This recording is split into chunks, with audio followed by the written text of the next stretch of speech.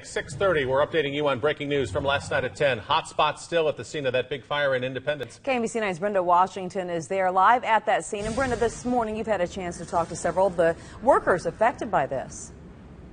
Oh, that's right, Donna. Uh, they are very thankful, not because of what happened here, of course, but because right this building right behind me where I'm standing, the owner had just purchased this just a few days ago. In fact, I did speak with the owner, so they're going to be moving from their building that's destroyed into this building. In fact, as we pan over and show you, this is the building, DeTray Plating Works the roof has caved in. It's it's just gone. But about uh, 10 minutes ago, fire crews they, they they managed to get right inside that door, which is the office area, and they managed to salvage some paperwork they were handing to the employees, and they were taking it into this building uh, over here. Now we have not seen them pour any water on hot spots for about the last hour or so, but they have been walking around. The fire crews keeping their eye on things. Uh, this building is gone. Fire broke out about 7:30 yesterday.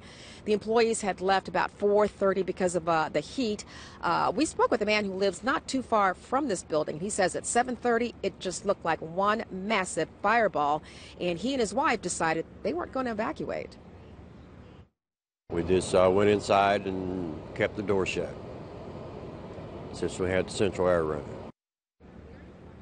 Now, those evacuations were actually voluntary, so there were a few more people who did decide to leave because of all of the smoke, toxic smoke we're talking about, because there's a lot of acids inside and other chemicals.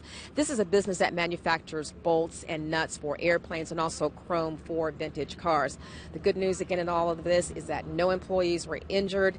No fire crews were injured, and they didn't have, uh, despite the heat from yesterday, I'm told they were not overcome by heat, the fire crews were talking about. But again, uh, the employees are going to be spending uh, the next probably couple of if not a month, trying to salvage what they possibly can into the new building. Still no word on what has caused this fire here in Independence. So, guys, that's what we know so far. Back to you. All right, Brenda, thank you. And we want to show you this a picture sent to us by one of our viewers. Uh, this is uh, from Kelly Wooster. Kelly, thank you for sending this in. A reminder if you do see breaking news and uh, you can send us a picture or video. You can upload those to the ULocal section of KMBC.com or email them to us at news at KMBC.com.